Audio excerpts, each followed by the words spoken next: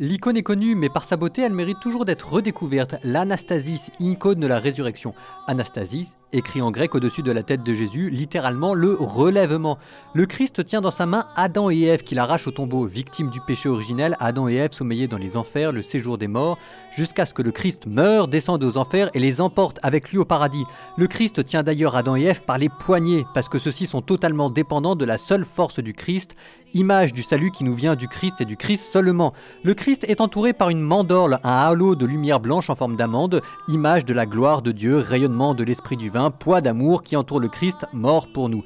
À côté d'Adam et Ève, les autres patriarches, Abraham, David, Moïse, qui eux aussi attendent que les portes du paradis se rouvrent et, au pied de Jésus, les portes de l'enfer fracassées, le diable vaincu qui gît impuissant devant la venue du Christ dans la gloire. Alléluia. Le Christ a vaincu la mort, Alléluia, ressuscité, il ne meurt plus.